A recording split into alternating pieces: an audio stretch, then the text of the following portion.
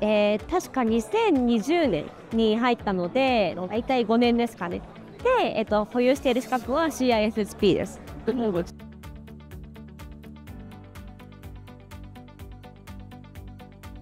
大きくプラスになったことは、えっと、CISSP を、えっと、取得したことでプロモーションにつながったっていうところが一番大きな、えっと、メリット。です。で、えっと、他方で、えっと、今 CISSP をあの捕獲保有して5年になるんですけれども CISSP を持っていることで、えっと、同じ CISSP